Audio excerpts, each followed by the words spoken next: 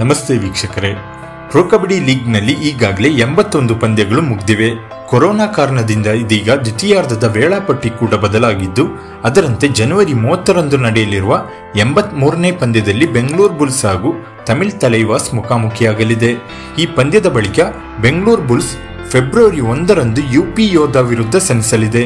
ಇನ್ನು ಫೆಬ್ರವರಿ ನಾಲ್ಕರಂದು ದಬಂಗ್ ಡೆಲ್ಲಿ ಹಾಗೂ ಬೆಂಗಳೂರು ಬುಲ್ಸ್ ಮುಖಾಮುಖಿಯಾಗಲಿದೆ.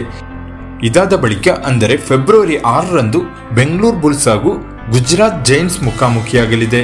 ಇನ್ನು ಬೆಂಗಳೂರು ಬುಲ್ಸ್ ತಂಡದ ಕೊನೆಯ ಎರಡು ಪಂದ್ಯಗಳ ವೇಳಾಪಟ್ಟಿ ಇನ್ನಷ್ಟೇ ಪ್ರಕಟವಾಗಬೇಕಿದೆ.